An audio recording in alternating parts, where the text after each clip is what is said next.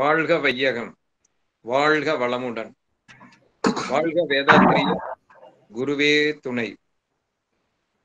இந்த அற்புதமான மாலை வேளையில் நம்மை சிந்திக்க வைத்திருக்க என்னை அழைத்த proto team IT information technology நண்பர்கள் அத்தனை நல்லுள்ளங்களுக்கும் கூகுள் மீட் இல்லை இணைந்துள்ள அத்துணை நல்லுள்ளங்களுக்கும் எனது மாலை வணக்கம். இன்று நாம் சிந்தனைக்கு எடுத்துக்கொண்டிருக்கின்ற தலைப்பு ஆறாவது அறிவின் சிறப்பு. நான் அறிவுனா என்ன? இறைநிலை விளக்கம் மனிதனும் தெய்வமாகலாம் இப்ப இந்த மாதிரி தலை வச்சு இதுல முதல்ல என்னை அறிமுகப்படுத்திக்கிறேன் எனது பெயர் மாணிக்க வாசகம் அப்பா பெயர் விஸ்வநாதன். தமிழ்நாடு திருச்சி மாவட்டம் தொட்டிய வட்டம் அருகில் ஒரு சிறிய குக்கிராமம் உன்னியூர். நான் எனது குக்கிராமத்தில் எட்டாம் வகுப்பு படித்துவிட்டு சேலம் தேசிய கல்லூரி அண்டு உயர்நிலைப் பள்ளியில் எட்டாம் வகுப்பிலிருந்து பியூசி வரையிலும் முடித்துவிட்டு கந்தசாமி கன்ற காலேஜில் பிகாம் முடித்துவிட்டு பின் தமிழ்நாடு மேகனசைட் லிமிடெட் சேலத்தில் நான் உதவியாளராக சுமார் இருபது ஆண்டு காலம் பணிபுரிந்து உடல்நலம் கடு கடுமையாக பாதித்து பதினைந்து ஆண்டு காலம் மருத்துவ செலவுகள் ஓவராக செய்து அதன் பின் வேதாத்திரி மகரிஷனுடைய உடற்பயிற்சி காயகல்பம் தியானம் அகத்தாவி செய்து கொண்டு இன்று அத்தனை வியாதிகளும் நீங்கி எனது வேலையை நான் ராஜினாமா செய்துவிட்டு பதினைந்து ஆண்டு காலமாக நாமக்கல் அறிவு திருக்கோயிலில் துணைத் தலைவராகவும் முதல் நல்ல ஆசிரியர் விருது கொடுத்த சுமார் இருநூறு நபரில் நானும் ஒருவனாகவும் ஆலியாரில் வேதாத்திரி மகிழ்ச்சியின் கருத்துக்களை பரப்புகின்ற எனது பாக்கியமாக அமைந்த எனக்கு அத்துணை நல்லுளங்களையும் நான் பாராட்டி வாழ்த்தி வணங்கி என் உரையை இப்பொழுது ஆரம்பிக்கிறேன். முதல்ல நான் யார் அப்படின்னு நம்ம தெரிஞ்சுக்கணுங்க. நான் என் மனமாக இயக்கத்தில் இருக்கிறேன். இது ரொம்ப ரொம்ப முக்கியம். என்ன பண்ணுதுங்க? நம்ம உடம்புல ஒவ்வொரு மனிதன் ஒவ்வொரு ஜீவன் இடத்துலையும் பாத்தீங்கன்னா ஐந்து விதமான ஓட்டங்கள் ஓடிக்கொண்டு இருக்கிறது இரத்த ஓட்டம் வெப்ப ஓட்டம் காற்றோட்டம் உயிரோட்டம் காந்த ஓட்டம் டாக்டர்ஸ் போனீங்கன்னா செக்அப் பண்ணாங்கன்னா ரத்தம் வெப்பம் காற்று இதை மட்டும் பார்ப்பாங்க. உயிரோட்டத்தையும் காந்த ஓட்டத்தையும் துல்லியமாக எவராலையும் கணிக்க முடியாது. உயிரோட்டத்தவே பார்க்க முடியாது நிரூபிக்கவும் முடியாது.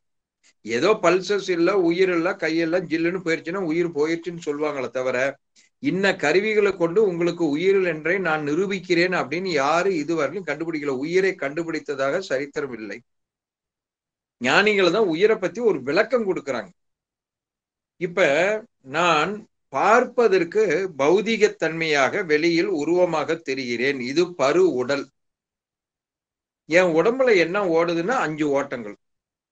இதில் கா ஜீவகாந்தம். வெளியில இருந்தா வான்காந்தம் என் உடம்புக்குள்ள வந்தா ஜீவகாந்தம். இந்த ஜீவகாந்தம் மூளையின் வழியாக செலவானால் அதற்கு பெயர் மனம். இந்த மனம்ங்கிற டெபினேஷன் இதுவரையிலும் யாருமே கொடுத்தது இல்லைங்க வேதாத்திரி மகரிஷியை தவிர.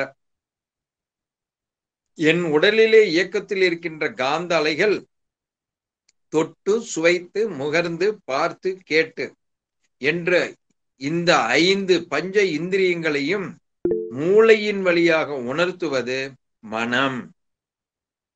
அதுக்குதான் இந்த இந்த கருவிகளுக்கு பேரு ஞான இந்திரியங்கள் அறிவு சார்ந்த இந்திரியங்கள் பேருங்க. இப்ப மனம்னா என்ன? அது எங்கிருந்து ஆரம்பிக்குது? அடுத்த கேள்வி. என் மனம் என்பது ஒருத்தருடைய உடம்புல இருந்து ஒரு சக்தி வெளியேறிவிட்டால் அந்த உடலுக்கு பெயர் வேற அங்கு மனம் இயங்காது. நல்லா புரிஞ்சுக்கணும். ஒவ்வொரு மனிதர் உடம்புல இருந்து ஒரு சக்தி வெளியேறிடுச்சுன்னா அதுக்கு பெயரே வேற. பிணம் அப்படிம்பாங்க. அங்க மனம் இருக்கமான்னு போய் கேட்டு பாருங்க. பிணத்துக்கு மனம் மனம் இருக்குமா? வேணும்னு நீங்க உட்காந்து செக் பண்ணி பாருங்க. ஒரு பிணத்துக்கு பக்கத்துல உட்காந்து ஐயா நான் வந்திருக்கிறேன். ஒரு டீ சாப்பிட்றீங்களான்னு சொல்லி மட்டும் பாருங்க பிணத்துக்கிட்ட. அது வெடுக்குன்னு ஏதிச்சு உட்காந்து ஆமாமா நீங்க வந்திருக்கிறீங்க. எனக்கு ஒரு டீ கொடுங்கன்னு சொல்லிச்சுன்னா அந்த இடத்துல யாராவது இருப்பாங்களான்னு முதல்ல பாருங்க. அப்ப அப்ப என்ன அர்த்தங்க? மனம் என்பது உயிர் சக்தியிலிருந்து வெளிப்படுகிற காந்த ஆற்றல். அடுத்த கேள்வி. உயிர்னா என்ன? இது ஒரு காந்த அலை தொகுப்பு. காந்த அலை இயக்கம். இந்த காந்த அலை என்கிற உயிர் எனது உடலில் என்ன செய்கிறது? தான் சயின்ஸ் ஒவ்வொரு மனிதர்கள் உடம்புலையும் சுமார் ஒரு லட்சத்தி இருபத்தி ஏழாயிரம் கோடி செல்கள் உள்ளது. விஞ்ஞானம் சொல்லுது. இது வந்து புள்ளி விவரம் அங்க ஸ்டாட்டிஸ்டிக்ஸ் புள்ளி விவரம்னா என்னங்க? புழுகுன்னு அண்ட புழுகு ஆகாச புழுகுன்னு கிராமத்துல நாங்க சொல்லுவோம். ரெண்டும் ஒண்ணுதான். ரொம்ப நம்ம போட்டு மண்டே குழப்பிக்க வேண்டாம். கொஞ்சம் கௌரவமா சொன்னா புள்ளி விவரம் கொஞ்சம் அசிங்கத்தனமா சொன்னா புழுகும்பாங்க. நான் இப்படியா ஏன் ஸ்டாட்டிஸ்டிக்ஸ்ல புழுகுங்கிறேன்னா நான் சொல்லிங்க விஞ்ஞானம் தான் சொல்லிட்டு இருக்குது முதல்ல மனித உடம்புல ஆறாயிரம் கோடி செல்லுன்னு ஒரு இரநூறு வருஷத்துக்கு முன்னால சொன்னாங்க. எல்லா நாட்டு விஞ்ஞானிகளும் ஆமான்ட்டாங்க. ஒரு நூறு வருஷத்துக்கு முன்னால மனித உடம்புல அறுபதனாயிரம் கோடி செல்லு இருக்குதுனாங்க அனைத்தன விஞ்ஞானிகளும் ஆமான்ட்டாங்க. இப்ப லேட்டஸ்ட் ட்ரெண்ட் ஒரு லட்சத்தி இருபத்தி ஏழாயிரம் கோடி செல்லு அப்படிங்கிறாங்க. எல்லா விஞ்ஞானிகளும் ஆமான்ட்டாங்க. இப்ப யாரோ குறுக்க ஒருத்தர் எடுத்து விட்டுருக்காரு ரெண்டு லட்சத்தி தொண்ணூத்தி கிட்டத்தட்ட நியர்லி மூணு லட்சம் கோடி செல்லு மனித உடம்புல இருக்குதுனாங்க அதுக்கு ஒரு ரெண்டு பேரும் ஆமான்ட்டாங்க. அப்ப எல்லாம் எல்லாம் புழுகுதான் புள்ளி விவரம்னாலும் புழுகுனாலும் ஒண்ணுதான். ரைட் விடுங்க நம்ம அதை பத்தி ஆராய்ச்சி பண்ண வேண்டாம். எனது உடலில் சுமார் ஒன்றரை ஒன்னேகால் லட்சம் கோடி செல்கள் தொகுப்பாக இருக்கிறது. இந்த செல்கள்ல சேர்ந்தாதான் உறுப்புகள் புலன்கள் உறுப்புகள் நம்ம சொல்றோம். ரைட் ஒரு நிமிஷத்திற்கு மனித உடலில் மூணு கோடி செல்லு செத்துக்கிட்டு இருக்குதுங்க. இப்பதான் நல்லா டீப்பா நீங்க கவனிக்கணும். ஒரு நிமிடத்திற்கு மனிதனுடைய செ- உடம்புல மூணு கோடி செல்கள் செத்துக்கிட்டு இருக்குது ஒரு நிமிஷத்துக்கு. இந்த செத்த செல்லையெல்லாம் எனது உயிர் சக்தி என்கிற காந்தம் ஜீவகாந்தம் பர்ஃபெக்டா துல்லியமாக எல்லாத்தையும் எடுத்து கொண்டாந்து மூச்சு காத்துல வேர்வை தும்மல் எச்சில் கண்ணீர் யூரின் மோஷன் வழியா பர்ஃபெக்டா வெளியேற்றிக்கிட்டே மீண்டும் நாம் சாப்பிடுகிற சாப்பாட்டிலிருந்து உணவிலிருந்து நிமிடத்திற்கு மூன்று கோடி செல்களை செய்து முடி செல்லு மூக்கு செல்லு கண்ணு செல்லு நாக்கு செல்லு உதடு செல்லு எலும்பு செல்லு முழங்கால் செல்லு முட்டி செல்லு ரத்தம் செல்லு நகை செல்லாம் மாத்தி அங்க அங்க கொண்டு போய் கரெக்டா அட்டாச் பண்ணி கொண்டே இருக்கும். இப்ப முதல் கேள்வி இந்த மாதிரி என் உயிர் சக்தி என்கிற காந்தம் செய்வதற்கு அதற்குள் ஒரு அறிவு இருக்குமா இருக்காதா? எந்த டாக்டரையாவது போய் கேட்டு பாருங்க. சிந்தனையாளர்களையும் போய் கேட்டு பாருங்க. எனது உடம்புல இருக்கிற உயிர் சக்தி என்கிற காந்தத்துக்கு அறிவு இருக்குமா இருக்காதான்னு கேட்டு பாருங்க. இப்ப நீங்களே சொல்லுவீங்க ஆமா அதற்கு அறிவு இருக்கும்னு. சரி அறிவு கிட்டத்தனம்னா என்ன? இப்ப நல்லா நினைச்சு பாருங்க. பெண்களுக்கு எல்லாம் தலையில ஒரு ஆறு அடி கூந்தல் நல்லா குபு குபு குபுன்னு கருகருகருன்னு வருது. எல்லா நாக்குலயும் ஆறு அடி கூந்தல் அப்படி திப்பு திப்புன்னு முளைச்சதுன்னா என்ன பண்ணுவீங்க? டீ சாப்பிடணும்னா சேவ் பண்ணிட்டு தான் போய் சாப்பிடணும். டிஃபன் சாப்பிடணும்னா சேவ் பண்ணிட்டு தான் சாப்பிடணும். அதே மாதிரி நெகமெல்லாம் இப்ப இந்த இடத்துல வெட்டுனா நெகம் பர்ஃபெக்டா அந்த இடத்துல வளருது. நடு கண்ணுக்குள்ளார ஒரு பத்து நகம் நாக்குல ஒரு இருபது நகம் முட்டுச்சுன்னா என்ன பண்ணுவீங்க நீங்க? அப்ப எனது உயிர் சக்தி அறிவோடு என்னை இயக்கி கொண்டிருக்கிறதா? அறிவு கட்டத்தனமா என்னை இயக்குகிறதா? இன்னொரு உதாரணம். எல்லா மனிதர்களும் தாயின் கர்ப்பப்பையில் இருக்கும் பொழுது கண்ணுக்கு தெரியாத ஒரு சிறு புள்ளியாகத்தான் இருந்தோம். அந்த புள்ளிக்குள் உயிரும் அறிவும் இருக்கிறது. அந்த ஆறாவது அறிவு சிறப்ப சொல்றேன். அந்த அறிவும் அந்த உயிர் சக்தியும் சேர்ந்து இன்னைக்கு என்னை உருவமாக தொண்ணூறு கிலோ வெயிட்ல இருதயம் நுரையீரல் நாக்கு கண்ணு மூக்கு தலை கை காலு காது ரத்த ஓட்டம் வெப்ப ஓட்டம் காற்றோட்டம் குடல் இத்தனையும் செய்து என்னை வைத்திருக்கிறதே. இப்ப அதுக்கு அறிவு இருக்குமா? இருக்காதுங்களா? நல்லா சிந்தனை பண்ணி பார்க்கணும். அறிவு இருக்கிறது. நல்லா புரிஞ்சுக்கணும். அடுத்த கேள்வி. அந்த அறிவு மனிதனுடைய ஆறாவது அறிவை விட உயர்வானதா மட்டமானதா? ரெண்டாவது கேள்வி. ரைட் இப்ப ஆறாவது அறிவுனா என்ன? தாவரத்துக்கெல்லாம் ஓரறிவு தொடு உணர்வு அழுத்த உணர்வு மட்டும்தான் அது உணரும். புழு பூச்சிலாம் ரெண்டு உணர்வு சுவை உணர்வு ஒண்ணு பரப்பன அதுக்கு மூணு உணர்வு வாசனை உணர்வு. ஊர்வன அதுக்கு பார்த்தீங்கன்னா கண்ணெல்லாம் வந்துடும் விலங்குகளுக்கு என்ன? ஐந்து அறிவும்பாங்க. ஐந்து அறிவு விலங்குகள் அதுக்கு காது வந்துடும் மனித மட்டுமே ஆறாவது அறிவு. அப்படி என்றால் அந்த ஆறாவது அறிவுனா என்ன? பாருங்க. முதல் இது சாதாரண மனிதர்களுக்கு ஆறாவது அறிவுனா என்ன டெபனிஷன் சொல்றேன் பாருங்க. இயற்கையில் இருக்கும் பொருட்களை தரமாற்றி உருமாற்றி பயன்படுத்தி கொள்ளுகிற அறிவு ஆறாவது அறிவு. இப்ப இயற்கையில் என்ன இருக்குதுங்க? பூமிக்குள்ளார இரும்புன்னு இருந்தது. இப்ப குண்டு ஊசியில இருந்து கப்பல் வரலையும் ஆறாவது அறிவு செஞ்சிருச்சு. இரும்புன்னு இருந்தது lorry bus two wheeler car என்னென்ன பொருள் இந்த இரும்பு சமாச்சாரம் வச்சு வருது பாருங்க. இப்ப செல்போன்லாம் வந்துருச்சு. Wireless cellphone phone laptop computer எத்தனை வாகன வசதிகள் இதெல்லாம் கண்டுபிடிச்சது எல்லாம் ஆறாவது அறிவு. இது இயற்கையில் இருக்கும் பொருட்களை உருமாற்றி தரன் மாற்றி பயன்படுத்துவது ஆறாவது அறிவு. மட்டும்னால் தான் முடியும். ஐந்து அறிவு வரலையும் முடியாது. ரெண்டாவது ஆப்ஷன் ஒவ்வொரு பொருளுக்குள்ளாரையும் என்ன இருக்குதுன்னு கண்டுபிடிக்கிற அறிவு ஆறாவது அறிவுக்குள்ளார இருக்குது. அது என்னது ஒவ்வொரு பொருளுக்குள்ளாரையும்? இயற்கையில் நம் கண்ணை மூடி திறந்து பாத்தீங்கன்னா நம்ம கண்ணுக்கு தெரிகிற அத்தனை பொருட்கள் இப்ப என் ரூமுக்குள்ளார இவ்வளவு பொருள் இருக்குது. இந்த அறையில இவ்வளவு பொருள் இருக்குது.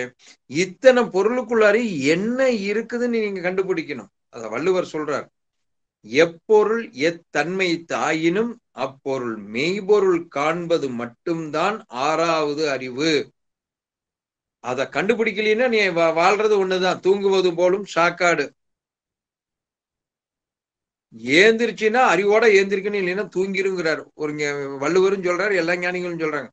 அப்போ ஒவ்வொரு பொருளுக்குள்ளார என்ன இருக்குது கண்டுபிடிச்சு பாருங்க. இப்ப நீங்க உதாரணத்துக்கு சொன்னீங்கன்னா இது என்ன அப்படின்னு கேட்டீங்கன்னா பேனாம்பிங்க. இது சாதாரண மனிதர்களுக்கு பேனா. அப்துல் கலாம் மாதிரி சயின்டிஸ்ட்ல நல்ல தியரியில நல்லா உரு அடிச்சு குடிச்சவங்கள பக்காவா இருக்கிறவங்கள போய் இது என்னன்னு கேட்டு பாருங்க. ஒரே வரி அணுக்களின் கூட்டும்பாங்க. வேதாத்திரி மகிழ்ச்சி மாதிரி சித்தர்கள் ஞானிகள் யோகிகள் ரிஷிகள் மகான்களை போய் இது என்னன்னு கேட்டு பாருங்க. இறைவனின் தன்மாற்றம் அப்படிம்பாங்க. பொருள் ஒன்று பார்வை மூன்று. ஒவ்வொருத்தருக்கும் அவங்க அவங்களுக்கு தெரிஞ்சதை அவங்க சொல்லியிருக்கிறாங்க. அப்ப எப்பொருள் எத்தன்மை தாயினும் அப்பொருள் மெய்பொருள் காண்பதுதான் ஆறாவது அறிவு ஆறாவது அறிவின் சிறப்பு. பொருளுக்குள்ளார என்ன இருக்குதுன்னு கண்டுபிடிக்கணும். அதுதான் அணுக்களின் கூட்டு. இது வரையிலும் சயின்ஸ் கண்டுபிடிச்சிருக்குது அணுக்களின் கூட்டு. அது மட்டும்தானா? அப்படின்னு பாத்தீங்கன்னா ஆறாவது அறிவுக்கு இன்னொரு ஆப்ஷன் மெய்ஞானிகள் அது ரெண்டாவது ஆப்ஷன் சாதாரண மனிதர்களுக்கு புரியாது. என் உடலிலே தொட்டு சுவைத்து முகர்ந்து பார்த்து கேட்டு இதை கேட்டு பதிவு செய்யும் மனம் அறிந்து கொண்டிருக்கிறது புரிந்து கொண்டிருக்கிறது தெரிந்து கொண்டிருக்கிறதுன்னு சொல்றோம். இதை யார் அனுபவிக்கிறார்கள்? என்னுள் இருந்து எது இதை அறிந்து கொண்டிருக்கிறது? இதை கண்டுபிடிக்கிறது ஆறாவது அறிவு. எனக்குள்ள ஏதோ ஒரு சரக்கு இருக்குது. அந்த சரக்கு தான் இத்தனை வேலையும் செய்யுது. நான் சுவைக்கும் பொழுது ஒரு டீ சாப்பிடும் போது டீ நல்லா இருக்குன்னு நான் சொல்லுவேன். ஆனா சாதாரண மனிதர்கள் டீ நல்லா சொல்லுவாங்க. ஆனா ஞானிகளை கேட்டா என் மூலியமாக ஒரு அறிவு அதை உணர்ந்து கொண்டிருக்கிறது. அந்த அறிவு எதுன்னு கண்டுபிடிக்கிறதா ஆறாவது. அது இது ஞானிகளுக்கு மட்டும்தான் கொஞ்சம் நல்ல சிந்தனையாளர்கள் புரிஞ்சுக்குவாங்க. சாதாரண மனிதர்களுக்கு இது புரியாது. என்னமோ சாப்பிட்டேன் சாப்பாடு நல்லா இருந்தது இது சாப்பாடு சரியில்லை அங்க நல்லா இருந்தது இந்த கல்யாணம் சாப்பாடு நல்லா இருந்ததுன்னு சொல்லுவாங்க. ஆனால் இது எது என்னை அனுபவித்துக் கொண்டு இருக்கிறதுன்னு கண்டுபிடிக்கிறது ஆறாவது அறிவு. சரி அதை என்னன்னு இப்ப நம்ம கண்டுபிடிச்சிடலாம். நம்மெல்லாம் அந்த லெவலுக்கு கொஞ்சம் உயர்த்தணுங்கிறதுக்காக தான் இந்த மாதிரி வகுப்புகள்லாம் நாங்க யோகா வகுப்பை எடுத்துக்கொண்டு இருக்கிறோம். ரைட் இப்ப நான் கேட்கும் கேள்வி எனக்குள் இருக்கும் உயிர் சக்திக்கு அறிவு இருக்குதுன்னு முதல்ல சொல்லிட்ட முதல் பாயிண்ட் அறிவு இல்லைன்னா நாக்குல நகமுளையும் நாக்குல முடிமுளையும் கண்ணுக்குள்ளார நகமுளையும் ஒரு கண்ணு இங்க இருக்கு இன்னொரு கண்ணு இங்க இருக்கு ஒரு கை இங்க முளையும் இன்னொரு கை இங்க இருக்கா. இப்படி ஏதாவது உருவத்தை படைச்சிருக்குதா? எட்நூறு கோடி மக்கள் ஒன்னு ரெண்டு அப்படி இருக்கலாம். அவர் கர்ப்பம் தரிக்கும் போது நேரம் சரியில்லை. அவங்களோட இது சரியில்லைன்னா அப்படி இருக்கலாமே தவிர ஆனால் சுமார் தொண்ணூத்தி ஒன்பது புள்ளி தொண்ணூத்தி ஒன்பது சதவிகிதம் ஒரு ஸ்ட்ரக்சரல் பாடி இதை நான் என்ன சொல்லுவேன்னா வசந்த மாளிகை. இந்த மாதிரி பில்டிங்கை யாராலையும் செய்ய முடியாது. இந்த மாளிகையை கட்டுவது யாருன்னு இப்ப கண்டுபிடிக்கலாம். இப்ப இந்த மாதிரி என்னை கட்டி செஞ்ச அறிவோட செய்திருக்கிறது அந்த அறிவு உயிர் சக்திங்கிற அறிவு எனது ஆறாவது அறிவை விட மனிதர்களுடைய ஆறாவது அறிவை விட உயர்வானதா மட்டமானதா ரெண்டாவது கேள்வி வச்சோம் இந்த கேள்விக்கு பதில் பேசுங்க. நல்லா கேட்டு பாருங்க. என் உயிர் சக்தி செய்கிற அறிவு தான் உயர்வானது. ஏனென்றால் அது செய்கிற ஒரு வேலையை கூட ஆறாவது அறிவு செய்ய முடியாது. இதுதான் கன்க்ளூஷன் ஜட்ஜ்மெண்ட் மாதிரி. இப்ப யாராவது ஒருத்தர் யாராவது ஒருத்தர் வெங்காயம் நறுக்கிறேன் காய்கறி நறுக்கிறேன் சமையல் பண்றேன்னு சொல்லி கையில நறுக்கிக்குவாங்க ரத்தம் எல்லாம் வெளியில போவான் ஆக்சிடென்ட்ல ரத்தம் போகும். ஆனா ரெண்டு நாள்ல இப்ப கையில ரத்தம் போன ரத்தம் ரெண்டு நாள்லயோ ஒரு நாளையோ ஒரு மணி நேரத்துல உங்க உடம்பு ரத்தத்தை தயாரிக்குதா இல்லையா? உங்களால் ஒரு சொட்டு ரத்தம் தயாரிக்க முடியுமா? எந்த மருத்துவர்கிட்டயாவது போய் ரெண்டு சப்பாத்தி தர எனக்கு ரெண்டு சொட்டு ரத்தம் செஞ்சு கொடுங்க. நாலு புரோட்டா தரேன் எனக்கு ஒரு கண்ணை செஞ்சு கொடுங்க. மூணு இட்லி தர்றேன் எனக்கு ஒரு மூக்கை செஞ்சு கொடுங்க. யாரையாவது செய்ய சொல்லுங்க மருத்துவர்களை. எனக்கு தெரியாமல் எனக்கு அறியாமல் என்னுள் இருந்து செய்கிறதே. அது என் உயிர் சக்தி என்றால் எனக்கு இருக்கும் ஆறாவது அறிவை விட அது உயர்வானதா அப்படின்னா அது செய்கிற எந்த வேலையும் ஆறாவது அறிவு செய்ய முடியாது. அதற்கு பெயர்தான் பேரறிவு சூப்பர் கான்சியஸ்னஸ் அதற்கு சித்தர்கள் வைத்த பெயர் தெய்வம் கடவுள் இறைவன் என்றால் நான் யார்? நான் இசிக்கொள் டு பேரறிவு. பேரறிவு இசிக்கொள் டு கடவுள் தெய்வம் இறைவன் என்றால் நான் இறைவனாக இருக்கிறேன். நல்லா புரிஞ்சுக்குங்க. நான் இறைவன் என்றால் எனது அம்மா அப்பா யார்? இறைவன்.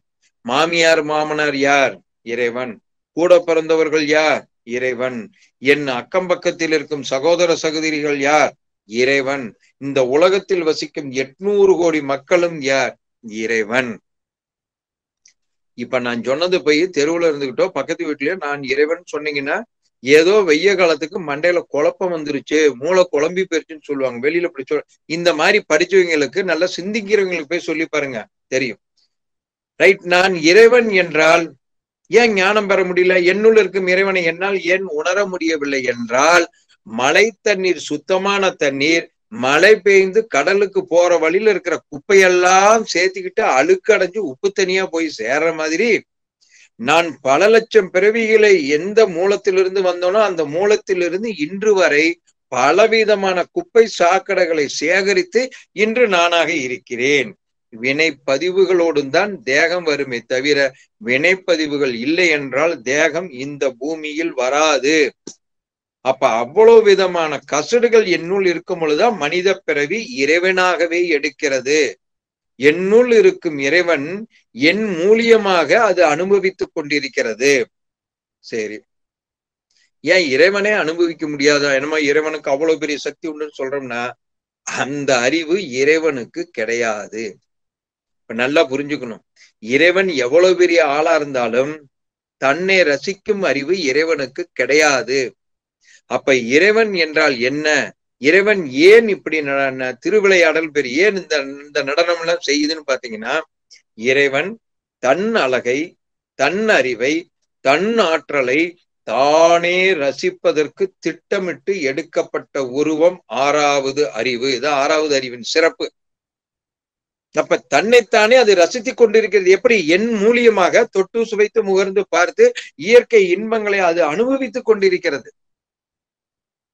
அப்ப இப்ப இப்ப நம்ம சொல்றோம் எல்லாம் கடவுள் அப்படின்ட்டோம்னா திருடன் முள்ள மாதிரி முடிச்சவைக்கு கொலகாரன் கொள்ளையடிக்கிறவன் இதெல்லாம் இத்தனை பேர் இருக்காங்களா அவங்க எல்லாம் கடவுள் தான் ஞானி சித்தர் யோகி மகான் ரிஷிகள் எல்லாம் கடவுள் தான் கடவுளை தவிர வேற ஒன்றும் இருக்க முடியாது. ரைட் இப்ப அடுத்த ஒரு உதாரணம். ஏன் நமக்குள்ளார இவ்வளவு பதிவுகள் இருக்குது? அதை நீங்க முதல்ல தெரிஞ்சுக்கணும். என்னுடைய பதிவுகள் என் உடம்புல எனக்கு ஏன் இவ்வளவு பெரிய பதிவுகள் இருக்குது? வினைப்பதிவுன்னு சொன்னமே அப்படின்னு கேட்டீங்கன்னா இப்ப பாருங்க. ஒரு சின்ன உதாரணம் சொன்னா உங்களுக்கு ஒரு கதையா சொன்னாதான் புரிஞ்சுக்குங்க இப்ப நம்ம என்ன பண்றோம்? ஒரு இடத்துல இருந்து ஒரு நூறு மீட்டர் தூரத்துல ஒரு டீ ஷாப்ல எல்லாரும் பொறப்பெல்லாம் வாங்கன்னு சொல்லி இப்ப இந்த ஜூம்ல இருக்கிற ஒரு ஐம்பது பேர் ஒன்னா சேர்ந்து டீ குடிக்க போலாம்னு போறோம். இந்த கதையை சொன்னாதான் எல்லாரும் கொஞ்சம் புரிஞ்சுக்குவாங்க பட்டுன்னு. இப்ப டீ குடிக்க போறோம்னு ஐம்பது பேரும் போறோம். அந்த டீ கடை வந்து ஒரு நூறு இருநூறு மீட்டர் தூரத்துல இருக்குது. போகும்போது ஒருத்தர் கேக்குறாங்க உங்க லட்சியம் என்ன? எங்க போறீங்கன்னு கேட்டா எங்களுடைய லட்சியம் டீ குடிக்கிறது. நாங்க நேரா அந்த கடையில போய் டீ குடிக்கிறோம்னு சொல்லுவோம். கரெக்டுங்களா ரைட். போற வழியில நம்மளது வடதுகை வலதுகை பக்கத்து ஒரு நாற்பது வீடு இடதுகை பக்கத்து நாற்பது வீடு எல்லாம் கம்பி கட்டு போட்ட வீடு அத்தனையும் பெரிய பெரிய பணக்காரர்கள் வீடு எல்லா எண்பது வீட்லயும் நாய் நம்மளை பார்த்து கும்பலா போறதை பார்த்து லொல்லுனுச்சுன்னா நாம் என்ன செய்வோம்? இந்த கேள்வி கேளுங்க நம்ம பாட்டுக்கு செவனையும் டீ குடிக்க தானே போவோம்னு சொல்றது அருமையா அருமையா சொல்லுவாங்க. நல்லா கேட்டுங்க. இப்ப நான் யார கேட்டாலும் என்ன சொல்லுங்க? எனது லட்சியம் டீ குடிக்கிறது நம்ம பாட்டு டீ குடிக்க போகுதா அது கத்துனா கத்திட்டு போகுதுன்னு சொல்லுவாங்க. தப்பா நினைச்சுக்காதீங்க. நான் உட்பட எல்லா மனிதர்களும் டீ குடிக்க போகவில்லை. அந்த நாய் லொல்லுதுன்னா எல்லாரும் அந்த நாய்கிட்ட போய் திருப்பி அங்க ரெண்டு லொல்லு லொல்லுன்னு நம்ம வந்து கொண்டிருக்கின்றோம். நாற்பது நாற்பது எண்பது வீட்டுல நாய் லொல்லுச்சுன்னா நம்ம நூத்தி அறுபது லொல் போடுகிறோம். ஏனென்றால் அந்த நாய்கள் கணவனாக இருக்கலாம் மனைவியாக இருக்கலாம் அம்மா அப்பாவாக இருக்கலாம் மாமனார் மாமியாக இருக்கலாம் சகோதர சகோதரியா இருக்கலாம் பக்கத்து வீடு எதிர்த்து வீடாக இருக்கலாம் இந்த சமுதாயத்தில் யார் வேண்டுமானாலும் இருக்கலாம். என்னை பார்த்து இன்று ஒருவர் உன்னை லொல்லுன்னு உழைச்சா செவனே நான் அமைதியா இருக்கணுமே தவிர திருப்பி நான் வந்து லொல்லுன்னு உழைச்சா இந்த நாய் தான். நாமும் விலங்குகளும் சமமே. ஏனென்றால் எனது லட்சியம் எனது நோக்கம் என்ன அப்படின்னு பாத்தீங்கன்னா என்னுள் இருக்கும் இறைவனை நான் இருக்கும் பொழுதே உணர வேண்டும். மனித பிறவியின் நோக்கம் வேதாத்திரி மகிழ்ச்சி சொல்ற அப்ப என்னுள் இருக்கும் இறைவனை ஏன் நானே உணர முடியல? அழுக்காக மாத்தி விட்டோம் சகதிகளாக மாத்தி விட்டோம் குப்பையாக மாத்தி விட்டோம் குப்பை தொட்டி கார்பரேஷன் குப்பை தொட்டியாக நாம் அதை மாத்தி விட்டோம். அதனால் என்னால் என் மனம் என்னுள் இருக்கும் இறைவனை உணர முடியவில்லை. ஏனென்றால் உயிரை உணர முடியவில்லை காந்தத்தை உணர முடியவில்லை இறைவனை உணர முடியவில்லை. ஆனா எல்லாம் நம்ம கேட்டா அதெல்லாம் இருக்குது இது இருக்குது பில்டிங் இருக்குது பங்களா இருக்குது கார் இருக்குது பணம் இருக்குது சொத்து இருக்குது சுகம். இதெல்லாம் பூஜ்ஜியம். நோக்கம் என் நான் யார் என்று கண்டுபிடிக்க வேண்டும். இதுதான் விவேகானந்தர் சொல்றார். உன் உள்ளே உரையும் தெய்வீகத்தன்மையை வெளியே கொண்டு வருவதுதான் கல்வி அப்படிங்கிறாரு. அருமையா சொல்லிட்டார். வேதாத்திரி மகிழ்ச்சி சொல்ற ஒவ்வொரு மனிதனையும் நன்றாக கூர்ந்து பார் அவன் உள்ளே என்ன இருக்கிறது என்று. இததான் சித்தர்களும் சொல்லியிருக்கிறாங்க. உடம்பை முன்னே இழுக்கு என்று இருந்தேன். உடம்பின் உள்ளே உரு பொருள் கண்டேன். இந்த உடம்பினுள்ளே உத்தமன் கோயில் கொண்டான் என்று இந்த உடம்பை யானிருந்து ஓம்புகின்றேனே திருமூலர் திருமந்திரன். அப்ப என்னுள் எது இயங்குகிறதுன்னு கண்டுபிடிக்கிறதா ஆறாவது அறிவு. என் மனம் யூட்டன் போட்டு கடந்து உள்ளே சென்று உள்ளே இருக்கும் பேரறிவின் மீது என் மனதை செலுத்தினால் அது தானாக சொல்லிவிடும். இதான் மனிதன் பிறப்பின் ரகசியம். ஆனா ஒருத்தர் கூட ஒரு ஒரு ஒரு லட்சத்துக்கு ஒரு பத்து பேர் தான் இதை செய்யறாங்களே தவிர மற்றவங்க யாரு என்னமோ மனுஷனா பிறந்துட்டோம் சாப்பிடணும் இனவிருத்தி வச்சுக்கணும் பிள்ளை குட்டிகளை பெத்துக்கணும் சொத்து சுகம் வாங்கணும் பில்டிங் கட்டணும் எல்லாம் பைத்தியக்காரன் பேருங்க. தேவைகளை பூர்த்தி செய்ய நீ கடுமையாக உழைக்க வேண்டும். வேதாத்திரி மகிழ்ச்சி சொல்றார். உன் தேவைகளை நீ பூர்த்தி செஞ்சாகணும். ஆனால் அந்த தேவைகளை ஆசைகளாக மாறிவிட்டால் உன்னை மாற்ற இறைவனாலும் முடியாது. கவனிச்சுக்கணும் கூர்ந்து. அப்ப நான் என்னுடைய வாழ்க்கையின் நோக்கம் இறைவனை உணர வேண்டும். சரி என்னுள் இருக்கும் இறைவன் எது இறைவன் தெரிஞ்சாதானே நான் அதை போய் வணங்க முடியும். அப்ப அதுக்கு எனக்கு ஒரு லிங்க் கண்டுபிடிக்க வேண்டும். எது இறைவன்? இப்ப ரெண்டாவது சப்ஜெக்ட் இறைவன் என்றால் சாதாரணமா எல்லாத்தையும் போய் கேட்டு பாருங்க. எல்லை உடைய சமாச்சாரமா எல்லையற்ற சமாச்சாரமா ஃபர்ஸ்ட் ஆப்ஷன் இறைவன் நீங்க சொல்றீங்க. நீங்க வந்து இதுல மதத்தை கொண்டாட வேண்டாம். நீங்க நபிகள் மத இஸ்லாமியர்கள் மதமா இருந்தாலும் சரி சீக்கிய மதமா இருந்தாலும் சரி ஜென்ஸ் மதமா இருந்தாலும் சரி பௌத்த மதமா இருந்தாலும் சரி இந்து மதமா இருந்தாலும் சரி வேற எந்த மத கிறித்துவ மதமா இருந்தாலும் சரி பதினோரு மதங்கள் நாலு மதம் இந்தியாவில இருந்து புறப்பட்ட மதங்கள். நீங்க எந்த மதத்தை போய் பார்த்து பாரு கேட்டு பாருங்க. இறை என்பது எல்லை அற்றதா எல்லை உடைய சமாச்சாரமான்னு கேட்டு பாருங்க. குழந்தையோட சொல்லும் எல்லை அற்றதுன்னு ரெண்டாவது ஆப்ஷன் இறை என்பது நிரந்தரமானதா நிரந்தரமற்றதா? இதை கேட்டு பாருங்க. நிரந்தரமானதுன்னு சொல்லுவாங்க. சரி. இப்ப நான் நினைச்சுக்கிட்டு இருக்கேன் எனக்கு ஒரு குலதெய்வம் இருக்குது. நான் இந்த சாமியை கும்பிட்றேன். எனக்கு ஈஸ்வரர் சாமின்னு எங்க அம்மா அப்பா மூதாதையர் சொல்லி வச்சுட்டாங்க. எனக்கு குலதெய்வத்துல வருஷம் வருஷம் போய் சாமி கும்பிட்றேன். அப்ப அது கடவுள் இல்லையா? காளியம்மன் மாரியம்மன் ஈஸ்வரர் பெருமாள் சரஸ்வதி லட்சுமின்னு இப்ப இத்தனை சாமியை கும்பிட்றமே அப்ப அதெல்லாம் கடவுள் இல்லையா? சிந்தனை செய்ய வேண்டும். உருவாக்கியவர்கள் ஞானிகள். ஏன் அந்த மாதிரி சிலையை உருவாக்கி ஒரு கதையை சொல்லி ஒரு புராணத்தை உருவாக்கி நமக்கு இதெல்லாம் சொன்னாங்கன்னா அந்த சிலைக்குள் இருக்கும் அந்த அர்த்தங்கள் அந்த தத்துவங்களை நாம் கோட்டை விட்டு விட்டு அதுதான் கடவுள் என்று போய் முட்டிக்கிட்டு இருந்தா ஒரு பிரயோஜனம் இல்லை. நட்டு வைத்த கல்லை நாலு புஷ்பம் சாத்தியே சுத்தி சுத்தி முனமனுக்கு மந்திரம். ஏதடா? நட்ட கல்லும் பேசுமோ? நாதன் உள்ளே இருக்கையில். எவ்வளவு அருமையான வார்த்தைங்க. அது எதுக்கு கொடுத்தாங்கன்னா தத்துவங்கள். அப்ப கோயில் இருக்கிற சிலையெல்லாம் பொய்யா? நல்ல அறிவோட யோசனை பண்ணும் கோயில நவகிரகத்துல போனா நடுவுல சூரியன் கிரகம் இருக்குது. நம்ம சுத்தி வர்றோம். இப்ப நான் உங்களை ஒரு கேள்வி கேட்கிறேன். நம்ம நவகிரகத்துல நடுவுல சூரியன் இருக்குதே. அந்த சூரியனாக செய்யப்பட்டது மனித உருவமா? விலங்குகள் உருவமா? இல்ல தாவர உருவமா? இல்ல புழு பூச்சியா? எப்படி அந்த உருவத்தை செஞ்சு வச்சிருக்கிறாங்க? கோயில்ல போய் பாருங்க நவகிரகம் கோயில்ல. மனித உருவத்தில் இருக்கும் சூரியன் புதன் சந்திரன் இதெல்லாம் மனித உருவத்துல செஞ்சு அதை நம்ம போய் நவகிரகத்துல சாமி கும்பிடுறோம் இப்ப நான் உங்களை கேட்கிறேன் இப்ப இந்த நவகிரக கோயிலுக்குள்ள நடுவுல இருக்கிற உரு மனித உருவத்தில் இருக்கிறது உண்மையிலும் சூரியனா? நான் ஆகாயத்தில் பார்ப்பது உண்மையிலும் சூரியனா? நல்ல சிந்தனை பண்ணி பாருங்க. எது உண்மையான சூரியன்?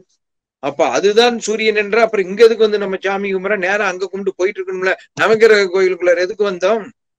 அந்த சூரியனிலிருந்து எனக்கு என்ன கிடைக்குது? நான் எப்படி பயன்படுத்த வேண்டும்? அதற்கும் எனக்கும் உள்ள தொடர்பு என்ன? சொல்லித்தர வகுப்பு தான் நவகிரகம் கோயில்.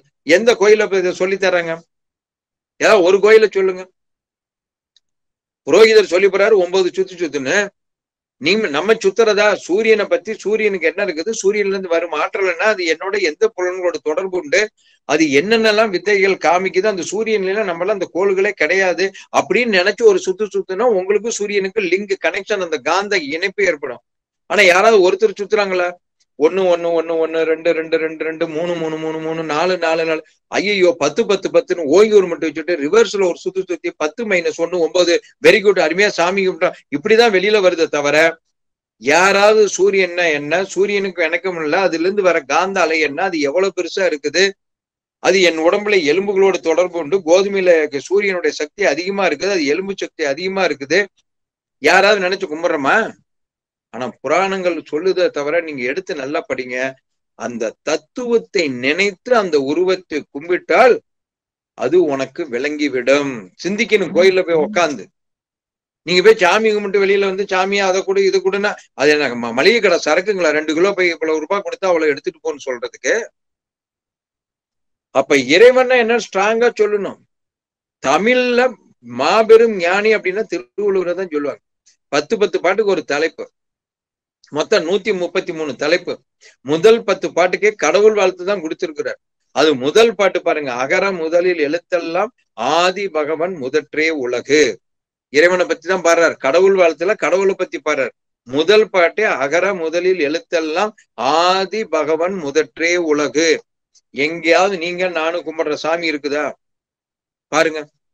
இயேசுபிரான் இருக்கிறாரா? நபிகள் நாயகம் சொன்ன அல்லாஹ் இருக்குதா? இயேசுபிரான் சொன்ன பிதா இருக்குதா? எங்கேயாவது பாருங்க. நாராயணன் நமச்சிவன் காளியாய் மாரியாய். ஏதாவது இந்த வரியில வந்து இருக்குது ஒரு கடவுளை பத்தி ஏதாவது பேர் சொல்லி அந்த கடவுளை சொல்லியிருக்கிற சரி இவரை ஒடுங்க. அடுத்தவர் வர்றார். தாயுமானவர் திருச்சியில அற்புதமான ஒரு ஞானி. தாயுமானவர் என்ன சொல்றாருங்க? அங்கும் இங்கும் நாதன் எங்கும் பிரகாசமாய் ஆனந்த பூர்த்தியாகி அவர் அருளோடு நிறைந்ததொரு தன்னரும் வெளிக்குள்ளே அகில அண்ட கோடிகள் எல்லாம் தங்கும்படி இச்சை வைத்தார். கடவுளுக்கு அவர் டெபினிஷன் கொடுக்காரு. அங்கும் இங்கும் நாதன் எங்கும் பிரகாசமாய் ஆனந்த பூர்த்தியாகி. அவர் அருளோடு நிறைந்ததொரு தன்னருள் வெளிக்குள்ளே அகில அண்ட கோடிகள் எல்லாம் தங்கும்படி ஆசை வைத்தார். இச்சைன்னா ஆசை. முதல் ஆசை இறைவனுக்கு தான் வந்தது. அது இன்னைக்கு வரல இந்த ஆசை ஆசைன்னு வந்து நம்மளை படாத பாடுபடுத்துது. இப்ப இவர் எங்கேயாவது கடவுள் பேர் எழுத்தாருங்களா அங்கும் இங்கும் நாதன் நாதன்னா இறைவன். எங்கும் பிரகாசமாய் ஆனந்த பூர்த்தியாகி இருக்கிறார். பாருங்க. சரி இவரை விடுங்க கம்பர் உலகமெல்லாம் தாமுல ஆக்களும் நீக்கலும் நிலைபெறுத்தலும் நீங்களா அழகிலா விளையாட்டுடையார்? அவர் தலைவர் அன்னவருக்கு சரண் நாங்களே.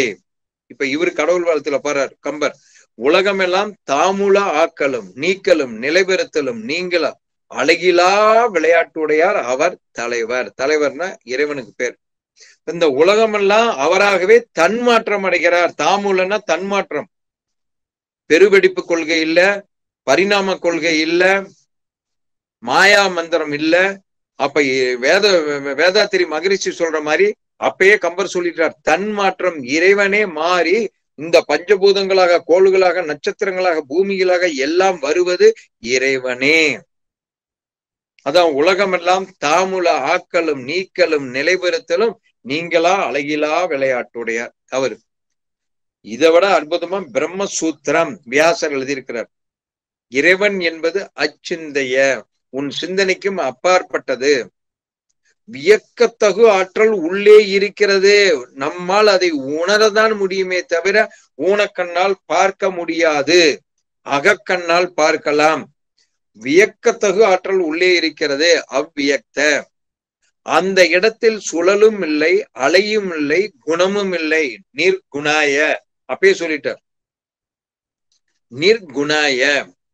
அப்ப இறைவனே தன்மாற்றத்துல எல்லாம் மனிதர்களா வந்து நான் கடவுளா இருக்க இப்ப பேசணுமே ஒருத்தர் திருடுறான் கொலை பண்றான் கொள்ளையடிக்கிறான் முள்ள மாதிரி கற்பழிக்கிறது சீட்டாடுறது ரேஸ் பண்றது இது போதைப் பொருளை யூஸ் பண்றது இது ஞானிகள் சித்தர்கள் யோகிகள் மகான்கள் ரிஷிகள் இத்தனையும் எங்கிருந்து வந்தது இந்த குணம் இல்லைன்னா ஃப்ரம் தி பிகினிங் அங்கிருந்துதான் வந்தது குணாத்மனே.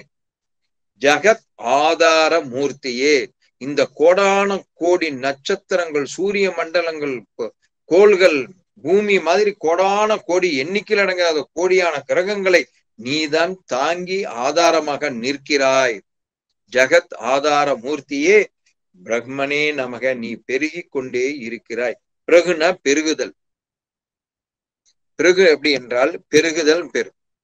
நீ பெருகி கொண்டே இருக்கிறாய். பிறகு அதனாலதான் பிறகுங்கிறத அந்த சமஸ்கிருத வார்த்தையை போட்டாங்க. அப்ப இறைவனுக்கு டெபினேஷன் கொடுக்காரு. அச்சிந்தைய அவ்வியக்த நிர்குணாய குணாத்மனே ஜகத் ஆதார மூர்த்தியே பிரம்மனே நமக. அப்ப வல்லல ராமலிங்க சாமிகள் ஒரு ரெண்டு வரியில சொல்றார். கங்கு கரை காணாத கடல் எங்கும் கண்ணாய் காண்கின்ற கதி. ராமலிங்க சாமிகள் சொல்றார் இப்ப இந்த இறைவனுடைய கடல் கங்கும் கிடையாது கரையும் கிடையாது. ஆனா எல்லாரும் பார்த்துக்கிட்டு தான் உட்கார்ந்து இருக்கிறோம். கண்ணாய் காண்கின்ற கதி. ரெண்டாவது இன்னொரு பாட்டுல சொல்றார் பெரிதினும் பெரிதாய் மிக பெரிய இந்த உலகத்தில் எது? நீதான் கடவுள். சிறிதினும் சிறிதாய். அந்த பெருசுதான் இப்படி ஆல் ஆஃப் சடன் சிறுசா மறைச்சு. கண்ணுக்கு தெரியாத மிக உலகத்திலேயே இந்த பிரபஞ்சத்திலேயே மிக சிறியது எது? அதுதான். அரிதினும் அரிதாய் ஆனர வகுத்த அருட்பெரும் ஜோதியே. வள்ளலார் டெபினேஷன் கொடுக்கிறார். இப்ப இவங்க சொல்றதெல்லாம் பார்த்தா இறைவன் என்பது எல்லை உடைய சமாச்சாரமா எல்லை அற்ற சமாச்சாரமா? எல்லை உடையதுன்னா என்னங்க? காலம் தூரம் பருமன் வேகத்திற்கு கட்டுப்பட்டால் எல்லை லிமிட்னு பேர்.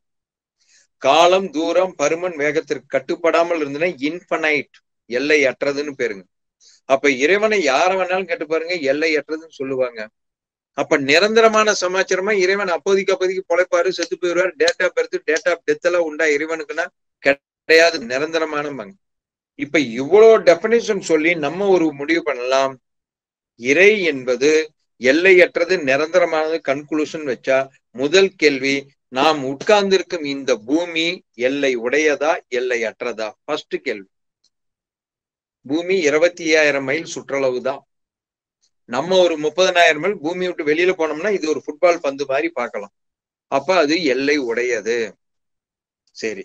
இந்த பூமி நிரந்தரமானதா அழிஞ்சு போகக்கூடியதா? இயக்கத்தில் உருவாகி இயங்கிக் கொண்டு அது அழியக்கூடியது விஞ்ஞானம் சயின்ஸ் இந்த சூரிய மண்டலங்கள் நமது சூரிய குடும்பங்கள் ஆயிரம் கோடி வருஷம் சயின்ஸ் ஒரு லிமிட் வச்சிருக்குது. அதுல இப்ப கிட்டத்தட்ட நானூத்தி எழுவத்தி மூணு கோடி வருஷம் முடிஞ்சு போச்சு. அதாவது தனது வாழ்க்கையில் ஐம்பது சதவிகிதமான டைம் முடிஞ்சு போச்சு. என்ன கிட்டத்தட்ட ஐநூறு கோடி வருஷம் தான் நமது சூரிய குடும்பமே லைஃப்ல இருக்க போகுதுன்னு இன்னைக்கு சயின்ஸ் சொல்லுது. அப்ப இது நிரந்தரமானதா நிரந்தரமற்றதா அப்படின்னா இது அழியக்கூடியது என்றால் இந்த பூமி அடுத்த கேள்வி இறைவனா? கண்டிப்பாக கிடையாது. பூமியே இறைவன் இல்லைன்னா நான் கட்டின கோயிலு சர்ச்சு மசூதி எல்லாம் அடுத்த கேள்வி.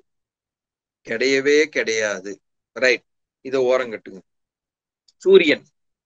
எல்லை உடையதா எல்லையற்றதா? சூரியனும் எல்லை உடையதா இங்கிருந்து பார்த்தா பகல வருது நைட்டு காணாம போயிருது. அட்ரஸே கிடையாது.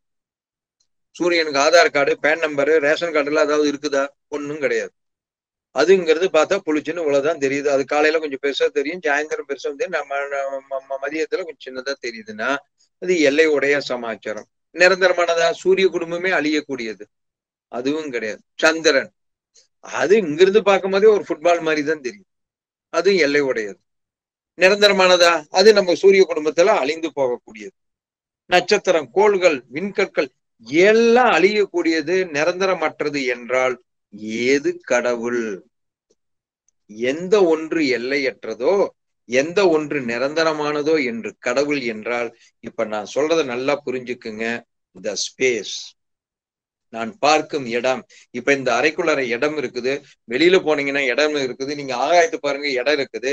இந்த இடம் முடியும் இடம் எங்கே இருக்கிறதுன்னு எந்த விஞ்ஞானிகளையோ வாட்ஸ்அப்லயோ அல்லது கூகுள் மீட்ல போயோ இல்ல கூகுள்ல போயோ சர்ச் பண்ணி பாருங்க. இடம் முடியும் இடம் எங்கேன்னு கேட்டு பாருங்க. இட் இஸ் இன்ஃபனைட் எல்லையற்றது த ஸ்பேஸ் ஒன்லி ரெண்டாவது நிரந்தரமானதுதான் கடவுள் நம்ம சொல்லியிருக்கிறோம். அடுத்த பயன் அப்ப இந்த இடம் நிரந்தரமானதா அழியக்கூடியதா? என்றும் என்றென்றும் இதே இடம் இருந்து கொண்டுதான் இருக்கும். இந்த இடத்த ஒரு இப்ப நீங்க வந்து ஒரு அணுகுண்டு போட்டா ஒரு ஊரை அழிக்கலாம். இப்ப பூமியில வச்சிருக்கிற ஆறு நாடு ஒட்டுமொத்தமா அணுகுண்ட வெடிச்ச இந்த பூமி மாதிரி கிட்டத்தட்ட நானூறு பூமிகள் அழியக்கூடிய சக்தி இப்ப நம்ம தயாரிச்சு வச்சிருக்கிறோம் பூமியில. அட்ட டைம்ல போட்டா நானூறு பூமி செதறி செதறி போயிடும் நீ எத்தனாயிரம் அணுகுண்டு போட்டு வெடிச்சாலும் ஒரு மில்லிகிராம் இடத்த நெவுத்தவோ அழிக்கவோ யாராவது முடியுமான்னு பாருங்க. ஒருத்தராலையும் முடியாது. அப்ப இடம் என்பதே நிரந்தரம் இடம் என்பதே எல்லையற்றது என்றால் the God is equal to the space first point தெளிவா வந்துரு இத திருவிளையாடல் புராணத்துல போய் பாருங்க. பாண்டிய மன்னருக்கு பலத்த சந்தேகம். என்ன சந்தேகம் வந்தது? பெண்களின் கூந்தலுக்கு இயற்கையில் மனம் உண்டா இல்லையா? நல்ல வேலையா போச்சு. அந்த காலத்து பாண்டிய மன்னருக்காக இந்த சந்தேகம் வந்து இப்ப பாண்டிய மன்னர் இருந்தனா ஒரு கேள்வி கேட்டுப்பார் பெண்களுக்கு இயற்கையில் கூந்தல் உண்டா இல்லையான்னு வந்திருக்கோம் எல்லாம் ரிக்கு விக்கு சாயம் அடாடா அந்த கிரிக்கெட் மேட்ச்ல பார்த்தா பெயிண்ட் பெயிண்டா பூசிட்டு வந்தோம். இந்த கிரிக்கெட் என்ன புத்தி எங்க போச்சு? இப்ப பெண்களுக்கு இயற்கையில் கூந்தலில் மனம் உண்டா இல்லையா? இது எதுக்கு இந்த சர்ச்சை வந்ததுங்க? இங்கதான் சயின்ஸ் வருது. பஞ்ச தன் மாத்திரை. இறைவன் விண்ணில் அழுத்தமாக காற்றில் சப்தமாக நெருப்பில் வெளிச்சமாக நீரில் சுவையாக மண்ணில் வாசனையாக மாறிக்கொண்டிருக்கிறது. பஞ்சதன் மாத்திரை அந்த காந்தம் அந்தந்த இயக்கத்திற்கு ஒழுங்காக துல்லியமாக செய்கிறது. அப்ப மண் என்றால் அங்கு வாசனை தான் சயின்ஸ் அப்ப பாண்டிய மன்னருக்கு இயற்கையின் கூந்தலுக்கு பெண்களுக்கு மனம் உண்டா இல்லையான்னு வந்தது. உடனே தர்மிங்கிற புலவர் அவரு நிர்விகல்ப சமாதி நிலை வரலையும் தியானம் பண்றவர். இறைவனுக்கு சமமா தியானம் பண்றவர். மாபெரும் சித்தர். அவர் தியானம் பண்ணி இந்த ஆண்டானா மூலியமா டச் பண்ணுறார். வான்காந்த ஜீவகாந்தம் வான்காந்தத்தோடு இணைந்து பேரறிவை ஒரு தட்டு தட்டினார். அது அத்தனையும் உண்மையை சொல்லிவிட்டது. உடனே பாடலை எடுத்துக்கொண்டு அவைக்கு போனார் தர்மி. கொண்டு போய் பாட்டை கொடுக்கிறார். கொங்குதேர் வாழ்க்கை அஞ்சதரும் அஞ்சதரை தும்பி காமம் செப்பாது மொழிமோ கொண்டு போய் பாட்டை நீட்டணும்னா மன்னர் சரின்ட்டாரு. அப்ஜெக்ஷன் யுவர் ஆனன்னு அங்க ஒரு லாயர் எழுந்திச்சிட்டார் நக்கீரர் அவர் கூப்பிடுறார் இங்கவா நக்கீ நக்கீரர் கூப்பிடுறார் தருமியே இந்த பாடலை நீ ஏற்றினரா வேற ஒருவனர் நான் கேட்க வேண்டிய இடத்தில் கேட்டேன் அது எனக்கு எழுதி கொடுத்தது அந்த உண்மையை சொன்னதுன்னு முதல்ல அதை வர சொல்லு எனக்கு இந்த பாடலுக்கு தகுதி அற்றதுன்னு சொன்னார் உடனே பேரறிவை தட்டினார் இது புராணத்துல சிவன் மனிதனாக வந்ததுன்னு ஒரு சரித்திரம் பேரறிவு மனிதனா வராதுங்க அப்ப பேரறிவு ஒரு மனிதன் ரூபத்துல வந்து சொல்லுது. இப்பதான் டெபினேஷன் ஆஃப் த காட் இந்த திருவிளையாடல் புராணத்துல வருது நல்லா கவனிக்கணும். கீர் கீர் என அறுக்கும் நக்கீரரோ என் புலமையை ஆராயதக்கவன். அவரு கேக்குறாரு. ஏன்னா நீ செம்படவ குளத்துல பிறந்தவன் சிவபெருமான பத்தி என்னை பத்தி சந்தேகம் உனக்கு வருதா? நான் எழுதி கொடுத்த பாட்டுல அப்படிங்கிறார். சிவபெருமான் சொல்லுது. அப்பதான் டெபனேஷன் ஆஃப் த காட் அவர் சொல்றார். சங்க அறுப்பது எங்கள் குலம். சங்கரனாரே உமக்கு ஏது குலம்? இந்த ஏது குலங்கிற வார்த்தையில எவ்வளவு பெரிய பிஹெச்டி தீரியே வாங்கலாம். ஒரு ஒரு டாக்டர் பட்டமே வாங்கலாம். உனக்கு ஏது குலம்னா சிவபெருமானுக்கு அம்மா அப்பா பேரை யாராவது சொல்லுங்க. இந்த ஸ்பேஸுக்கு முன்னால என்ன இருந்தது? எதுல இருந்து இந்த ஸ்பேஸ் இடம் வந்தது? இன்னைக்கு நைட்டு பூரா யோசனை பண்ணீங்க நம்ம மெண்டல் ஆயிரும். தூங்க முடியாது ராத்திரி. இடம் இருக்குது. இந்த இடத்தினுடைய மூலம் என்ன? எங்கிருந்து இடம் வந்தது? மூலம் இல்லாத அனைத்திற்கும் மூலமாக இருப்பது இடம். அதுதான் காட் அது அந்த டெபினேஷன் சொல்லுது. சங்க அறுப்பது எங்கள் குலம். சங்கரனாரே சிவபெருமானே சிவபெருமான்னா பூரணம். சிவபெருமானே உமக்கு ஏது குலம்? என்னை நீ சொல்லிட்டீல்ல? செம்படவ குலம்னு. உங்க அம்மா சொல்லு. நீ முதல்ல நார்மல் டெலிவரியா சிசரேரியனா நீ எந்த ஹாஸ்பிட்டல்ல பிறந்த? உன் லீலை லீலை எடுத்து விடு. இதுதான் அற்புதமான இறைநிலை விளக்கம் பாருங்க. அப்புறம் சொல்றார் சங்கை அறிந்துண்டு வாழ்வோம். எனக்காவது அந்த குளத்துல இருந்து நான் மீனவ தொழில் செய்யறேன் உன் போல் இறந்துண்டு வாழ்ந்ததில்லை. இறந்துண்டுலாம் உனக்கு உடலும் கிடையாது குடலும் கிடையாது. எங்க அந்த ஸ்பேஸுக்கு உடலும் குடலும் உண்டா? அறிவு இருக்குது ஆற்றல் இருக்குது காந்த இருக்குது. அது எப்பொழுது ஆறாவது அறிவாகிய மனிதன் என்ற ரூபத்தில் வருகிறதோ அதன் மூலியமாக தான் இது இறைவன் என்று நாமெல்லாம் பேசிக்கொண்டு இருக்க முடியுமே தவிர இறைவனாலும் ஓர இறைவனாலும் பஞ்சபூதங்களினாலும் ஓரறிவு தாவரத்திலிருந்து ஐந்தாவது அறிவு விலங்குகள் வரலையும் இதை உணர்க உணரவோ இதை பத்தி அனுபவிக்கவோ பேசவோ முடியாது. ஆறாவது அறிவின் சிறப்பே தனது மூலத்தை ஏ யார் என்னை வழிநடத்துகிறார் எங்கிருந்து நான் வந்தேன் என்ற சிறப்புத்தன்மை தான் ஆறாவது அறிவு. அப்ப சிவபெருமானாக இருந்தால் இந்த ஸ்பேஸ் ஸ்பேஸாக இருந்தால் ஒரு பிரயோஜனம் இல்லை. அது எப்பொழுது இன்று மாணிக்க வாசகமாக இருக்கிறதோ என் மூலியமாக அது அனுபவிக்கிறது. அந்த திருவிளையாளர் புராணத்துல அத்தனை கதை வருதுங்க. அப்ப இறைவன் நான் ஏற்கனவே சொன்னேன் தன் அழகை தன்னறிவை தன்னாற்றலை தானே ராசிப்பதற்கு திட்டமிட்டு எடுக்கப்பட்ட உருவம் மனிதன் ஆறாவது அறிவு.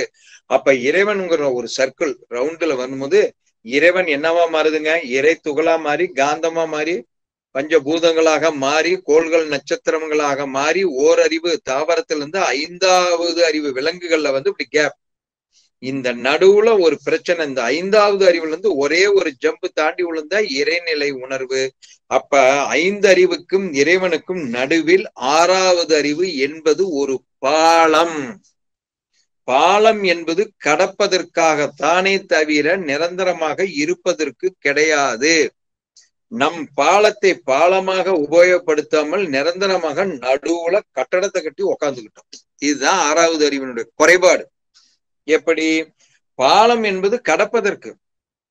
இப்ப ராமேஸ்வரத்துல பாலம் வச்சிருக்கிறாங்க. இந்த சைடு வந்து பாம்பன் இருக்குது. இந்த சைடு வந்து பாம்பன்ல இருந்து ராமேஸ்வரம் வருது. இப்ப ரெண்டு கடலுக்கு நடுவுல பாலம் இருக்குது. இந்த பாலம் ராமேஸ்வரத்துக்கு சொந்தமானதா பாம்பனுக்கு சொந்தமானதான்னு அது ரெண்டும் கேட்டான் இதையும் தொட்டுட்டு இருக்குது இதையும் தொட்டு இருக்குது. அப்ப மனிதன் என்பது விலங்கினத்தன்மையிலிருந்து வந்தவன் இறைவனுடைய தன்மை உள்ளே இருக்கிறது. இந்த சைடு விலங்கினத்திலிருந்து வந்ததனால் மனிதன் இரண்டும் கெட்டான். தான் தன் பாவங்களை பல லட்சம் பிறவிகளை கடந்து அந்த கசடுகளை குப்பைகளை தூக்கி எரியாமல் என்னுள் இருப்பது இறைவன் என்பதை உணர முடியாது கண்டுபிடிக்க முடியாது. நாங்க சொல்ற சொற்பொழி மூலியமா நீங்க வேணா அணு யோசனை பண்ணலாம் சிந்திக்கலாம் ரைட்டுன்னு ஒத்துக்கிட்டு போலாம். நீங்கள் உணர்வதற்காக தான் இந்த பிறவியில் மனிதனாக நீங்கள் ஒவ்வொருவரும் பிறந்திருக்கிறீர்கள்ங்கிறத மறந்துடக்கூடாது. அப்ப நாம் பிறந்தது இந்த பாலத்தை கடப்பதற்கு. அப்ப என்னுடைய அறிவு என்னுடைய ஜீவகாந்தம் இந்த வான்காந்தத்தோடு உரசல் அதுதான் உண்மை நிலை.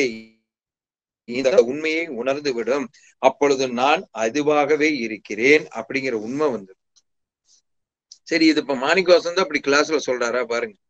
எல்லா ஞானிகளும் சொல்லிட்டாங்க. வேதாத்திரி மகிழ்ச்சி சிம்பிளா எங்களுக்கு நமக்கெல்லாம் புரிய வச்சிருக்கிறார். ரைட் இதுக்கு முன்னால் இருந்தீங்க சொல்லலையா? எல்லாம் சொல்லிருக்கேன் வேதம் என்ன சொல்லுது? வேதத்தை எடுத்து பாருங்க. தத்துவம் அசி. எது அதுவோ? இன்று நாம இருக்கிறோம். அகம் பிரம்மாஸ்மி. என் அகம் என்கிற உள்ளம் என்கிற உயிர் சக்தி பிரம்மத்திற்கு சமமாக இருக்கிறது. பிரக்ஞான பிரம்மம். அறிவுதான் தெய்வமாக இருக்கிறது. ஆறாவது அறிவுதான் தெய்வ நிலையை உணர முடிகிறது. ஃபர்ஸ்ட் புரிஞ்சுக்கணும். சரி இது வேதம் சொல்லுச்சு. பகவத்கீதை சொல்லுது. பகவத்கீதை என்ன சொல்லுது? பிரம்மம் பிரணவ சுரூபம். பிரணவம்னா என்னங்க? அறிவு ஆற்றல் காந்தம். அதான் வேல்ல மூணு இருக்கும். அறிவு ஆற்றல் காந்தம்.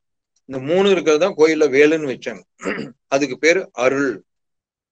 அறிவு இருக்கணும் ஆற்றல் இருக்கணும் காந்தத்தன்மை இன்டென்சிட்டி அழுத்தம். இந்த மூணும் இருந்தால் அதற்கு பெயர் அருள். அதுக்குதான் கடவுளுக்கு பேரு அருள்மிகு அருள்மிகுன்னு போறாங்க. அறிவும் ஆற்றலும் இணைந்தால் அறிவாட்சி அப்படின்னு பேரு. அதான் ஆற்றல்னு பேரு. இது அருள்மிகு. நம்ம பேரை போட்டுக்கிறோம். ரைட் அதான் சொல்லுதுங்க. பிரம்மம் பிரணவ ஸ்வரூபம் பிரம்மம் ஆத்மஸ்வரூபம் என்னுள் ஆத்மாவாக உண்மையாக ஞானமாக அறிவாக இருப்பதுவே இறைவன் தான். பிரம்மம் ஞான சொரூபம். எங்கேயும் எதிலையும் அற்புதமாக அறிவோடு இயக்கத்தில் துல்லிய அறிவோடு இயங்கிக் கொண்டிருக்கிறது. இதுதான் வேதாத்திரி மகரிஷி ப்ரூவ் பண்ணி காமிக்கிறார். ஒவ்வொரு இதுலயும் அறிவு எப்படி வேலை செய்யுது அப்படின்னு. சரி. இவங்க தான் சொன்னாங்களா? இயேசு பிரான் சொல்லலையா? விவிலியத்தில் எடுத்து போய் பாருங்க. அதுல பாருங்க. திருக்குறா திரு இதுல போட்டு விவிலியத்துல அவர் பேசியிருக்கிறார். இது இது நீங்க நீங்க அவங்க கிறித்துவ மதத்துல இருக்கிற அந்த புனித நூலை எடுத்து போய் பாருங்க. வேத ஆகம நூல் நான் ஒண்ணு வாங்கி வச்சிருக்கிறேன். அதுல போட்டிருக்குது. பரமண்டலத்தில் இருக்கும் பரமபிதாவே உனது ராஜ்யம் எங்கேயும் எதிலும் எப்போதும் இயங்கிக் கொண்டிருக்கிறது. இப்பொழுது என் உள்ளே இயக்கத்தில் இருக்கிறது. இயேசுபிரான் சொல்றார். பைபிள்ல போட்டிருக்கிறார். போய் படிச்சு பாருங்க. சரி இவர் தான் அப்படி சொல்லிட்டாரா? திருக்குறள்ல நபிகள் நாயகம் சல் சொல்லலையா? அவர் எடுத்து பாருங்க. அனைத்தையும் ஆக்கி அனைத்தையும் பரிபக்குவம் செய்து அனைத்தையும் இயக்குகின்ற அல்லாவிற்கே அனைத்து புகழும். அல்லாஹ் அப்படின்னா அவங்க மொழி. நம்ம தமிழ் மொழியில அல்லாஹ்னா என்னன்னு சொல்லணும்னு பாத்தீங்கன்னா ஈடு இணை அற்றது. தமிழ்ல சுத்தமான தமிழ்ல அல்லாஹ் அப்படின்னா ஈடு இணை அற்றது அதான் நம்ம சொன்னமே எல்லையற்றது நிரந்தரமானது. அதேதான் அவங்களும் சொல்றாங்க. இப்ப இறை என்பது த ஸ்பேஸ் என்றால் பெயர் பெயர் சொல் எப்படி வச்சிருக்கிறாங்க கடவுளுக்கு பாருங்க. இப்ப நான் இப்படி இப்படின்னா என்னை பைத்தியக்காரம்பாங்க. நான் இதை இப்படி இப்படி இப்படி இப்படி என்னம்னா நடனம்பாங்க. என்னுடைய இயக்கத்தில் ஒழுங்கற்ற தன்மை இருந்தால் பைத்தியம் இயக்கத்தில் ஒழுங்கு இருந்தால் நடனம். இந்த நடனம் ஆடுகிற கோள்கள் எல்லாம் இந்த பிரபஞ்சத்தில் இந்த ஸ்பேஸில் இந்த இடத்தில் நடனம் ஆடிக்கொண்டிருக்கிறதுனால் இந்த இடமே ராஜாவாக கிங் இருக்கிறது. நடராஜன். பேர் பாருங்க எப்படி வச்சிருக்கிறாங்க? அரங்கம்னு ஒரு பேர் உண்டுங்க இந்த ஸ்பேஸுக்கு எல்லா இயக்கத்திற்கும் இந்த அரங்கமே இந்த ஸ்பேஸ் தான் நாதனாக கடவுளாக இருக்கிறது. அரங்கநாதன். இதுதான் வச்சாங்க அரங்கநாதன் அதான். என்னங்க? இறை. சித் அப்படின்னா ஆறாவது அறிவு.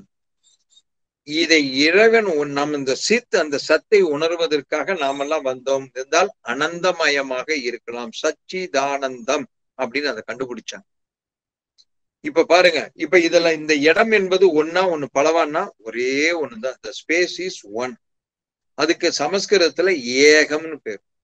இடத்துக்கு இன்னொரு பேர் அம்பரம்னு பேர். ஏக அம்பரம் ஏகாம்பரம்னு வச்சாங்க. இதெல்லாம் கரெக்டா தான் சொல்லி இருக்கிறாங்க இறைவனை. அப்ப இறை வழிபாடு எது கோயில்ல வச்சாங்கன்னா ஒரு உருவத்தை கொடுத்து ஒரு கதையை சொல்லி அந்த கதையில இப்படியெல்லாம் செய்து கொண்டு இருந்தார்கள். அப்படின்னு சொல்றதுக்காக தான் கோயிலை உருவாக்கி அந்தந்த சர்ச்சு மசூதி வச்சாங்களே தவிர நீ சும்மா போய் எனக்கு ஒரு கோடி ரூபாய் உழுவுன்னு என் நோயெல்லாம் தீக்கணும்னா போய் கடவுள்கிட்ட போய் நீங்க என்ன வேண்டீங்க எனக்கு பணம் வேணும் என் கடன் தீர வேண்டும். அவர் என்ன பின்னால நோட்டு அச்சடிக்கிற மிஷினா வச்சு தர்றாரு. நான் படிப்பில் ஃபர்ஸ்ட் ரேங்க் வாங்கணும். டியூஷன் சாயந்தரவா எடுத்து தரேன்னா சொன்னாரு உங்ககிட்ட.